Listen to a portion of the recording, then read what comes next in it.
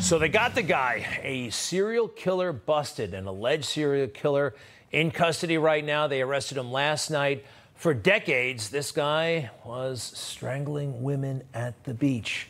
A total horror show. Uh, these women, 10 of them, have been linked to this suspect. Uh, but in court today, formally, uh, they're actually tying him to just four, four of the murders for now. They expect it to increase in number as they gather more evidence and as they make their case. The suspect, Rex Heuermann. Does he fit the serial killer profile? I don't know. 59 years old, an architect, a CEO of a small firm, married father of two, no criminal record that we that we know of. Now, so far overall, the evidence, well, there's DNA they say tying him to the victims and also cell phone records. He was buying burner phones, and the women, well, they were receiving phone calls from, they believe, his burner phones, and he's been buying them left and right fairly recently. This is just in May, going into a phone store and putting more minutes on a burner phone. Uh, how they actually got his DNA is from a pizza. They saw a half eaten or discarded pizza, they took it out of the trash. Uh, that's how they got his DNA, and they compared it to the DNA that was recovered at the crime scene. They also found out he's into a lot of really weird uh, sexual stuff. I mean, we're talking, well, it's kind of unspeakable what he was into. And this just might be, I mean, it's all terrible. But after he allegedly killed one of the prostitutes, he took her phone and called her family to say, "Yeah, I did it," and said all kinds of awful stuff from the. Uh, from the uh, charging document and the bail uh, thing, uh, Herman is believed to, Heuermann is believed to be the person who used the burner cell phones to communicate with each of the four victims prior to their disappearance. And then afterwards, a caller made taunting phone calls to Miss uh, Barthelemy's family members, in which the male caller admitted killing and sexually assaulting the woman. And he did this repeatedly repeatedly. Then he went on vacation for a couple of days in Iceland. The calls start uh, stopped. As soon as he got back from Iceland, the calls started again. And this is something we don't normally see, although sometimes we do. The alleged killer speaking last year during an interview for French television. Rex. Hello. Hi. How you doing? Good to see you. Likewise. Hope you don't mind. I brought my assistant with me, Norman. Hello, Hello Norman. I see it's raining out. It's a little bit unclear why they wanted to interview him, but uh, they did. Rex Heuermann. I'm an architect. I'm an architectural consultant. I'm a troubleshooter.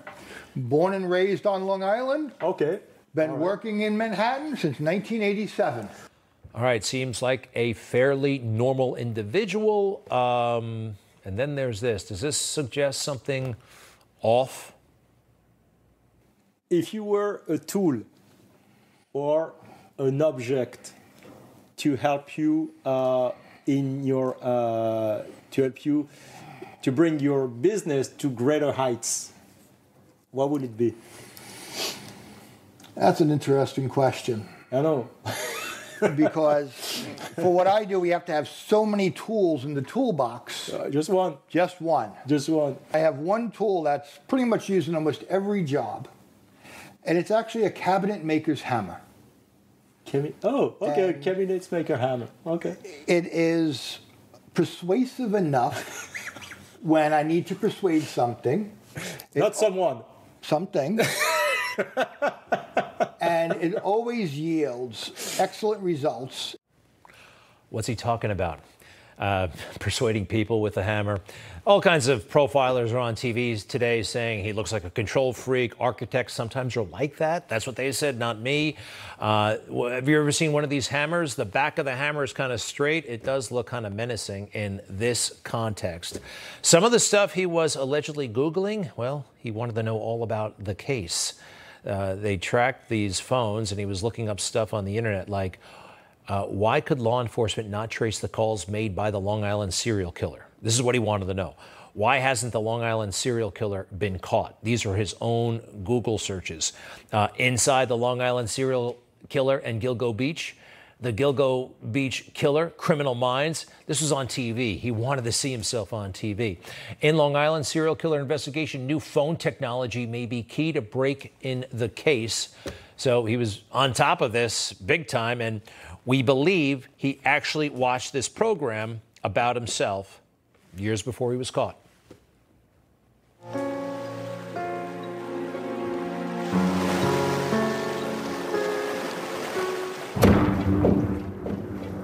we have a serial killer. We have a killer in our, you know, community walking around free today. This morning, new information in the manhunt for a serial killer whose trail of terror has led police to a beach in New York's Long Island police just released sketches of two people whose remains were found along Ocean Parkway. Three more bodies. Four unidentified bodies. Eight bodies. Ten sets of human remains have been found. Police say none of the bodies is that of Shannan Gilbert, the prostitute whose disappearance sparked the initial search. My sister went missing July 9, 2007. She was from Norwich, Connecticut. Uh, she went to New York and she never came home. Megan Waterman was my daughter. She lived in Scarborough. She went missing June 6th of 2010. Wow. So he watches this stuff. Do we think it makes him feel like a big man? Or does he worried about getting caught? Does he feel guilt? I wonder. Maybe we'll never know. And of course, pretty early on, it got political. People were pointing out on the internet and talk radio that the district the guy lives in is represented by a Republican congressman. The district voted for Trump. Therefore, this guy, the suspect, must be MAGA. must be MAGA, huh? Well, what if he is? What difference does that make, right? It's, uh, they're trying to say everybody MAGA is like this. That's insane. But they were really trying to make that case. I could make that case too. I wouldn't, but I could. I could point out that John Wayne Gacy who killed, I think, how many people did he kill? How many children did he kill? More than 30? Was raising money for Democrats? Yes, so much so that he got to meet the First Lady of the United States at the time, Rosalynn Carter, married to Jimmy Carter.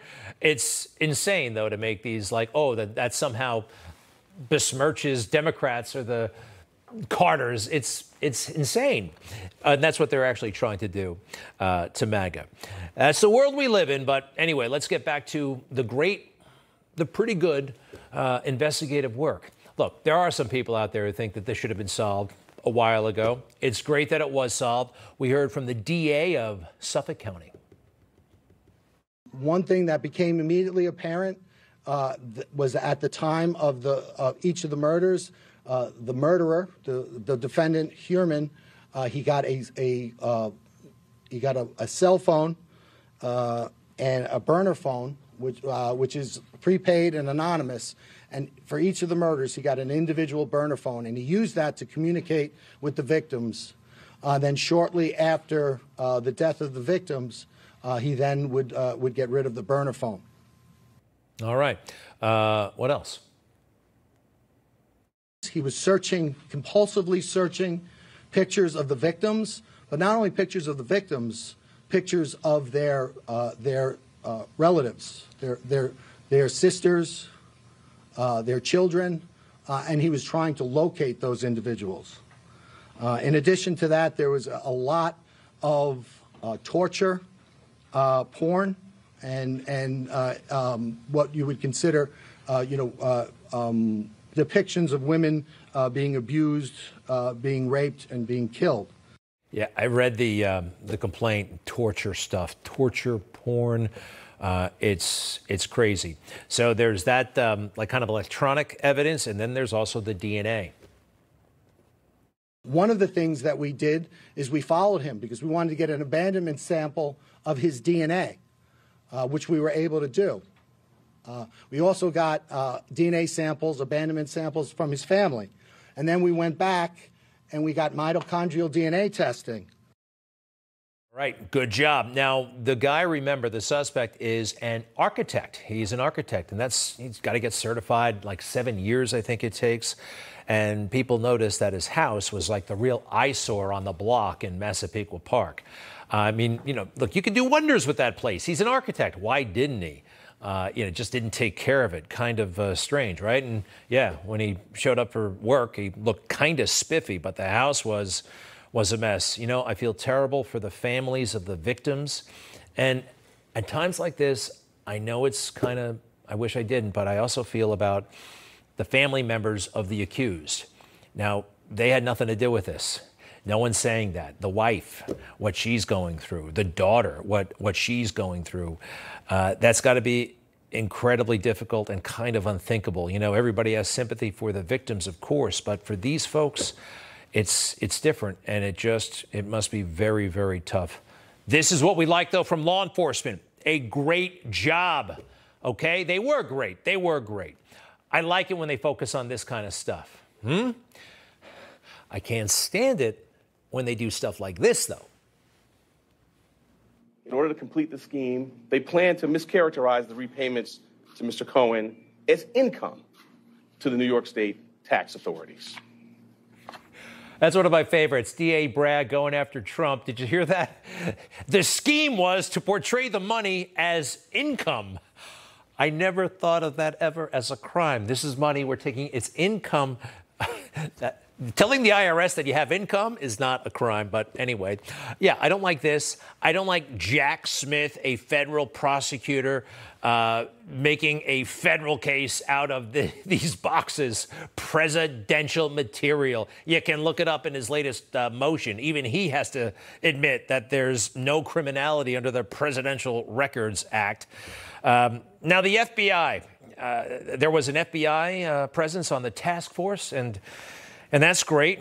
But uh, sometimes, sometimes they get into bragging a lot. The the FBI, they do. Um, it's part of the mythology that started all the way back under J. Edgar Hoover and persists to this day. Do you ever feel the hair on the back of your neck stand up? That's your intuition, and you should listen to it. I was in the FBI for 25 years. I developed an investigative tool called criminal profiling, and I'm going to teach you some of the tactics I've used from the people I interviewed. What is their motive, and what is their behavior? I had gone there for the same purposes as before, to abduct and kill girls. You'll be learning how to spot these character traits in others. The skills taught in this class could very well save your life.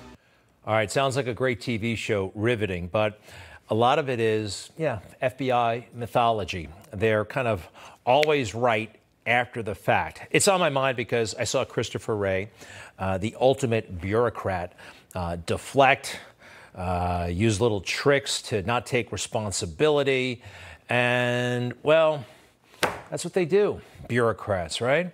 And when it gets down to actual procedures and what happens, sometimes they'll talk about it and sometimes they won't. Very selective of when and where. Watch.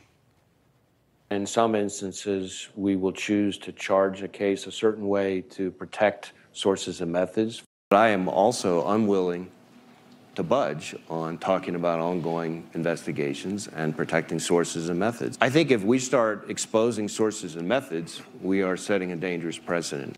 Well, you saw from that uh, masterclass guy, they're talking about methods all the time, all the time. It's part of how they keep the myth of the FBI going, and a lot of it is myth. You ever see this TV show? A gunman out for revenge, judges and government officials his targets how FBI agents went undercover to stop his plan.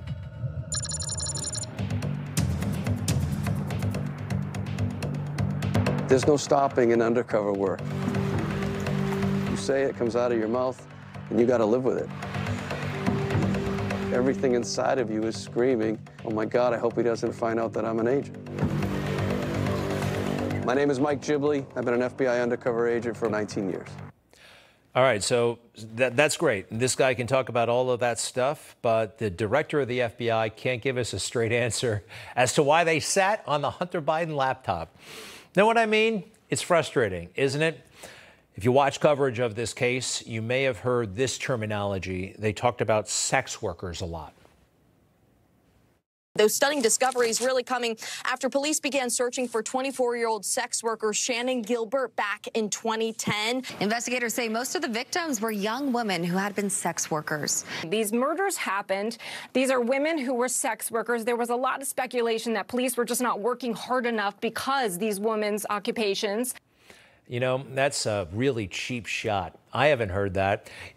A lot of serial killers, unfortunately, prey on sex workers, also known as prostitutes.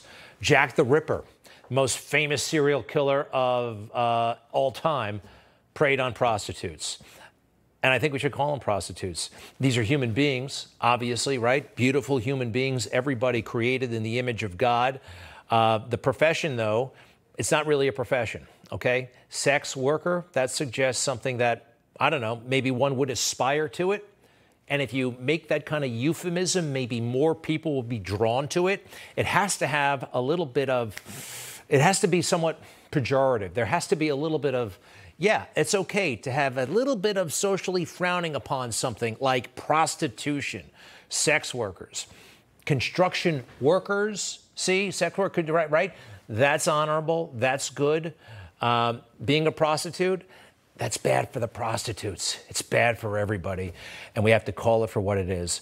May God bless the innocent, and we'll be right back.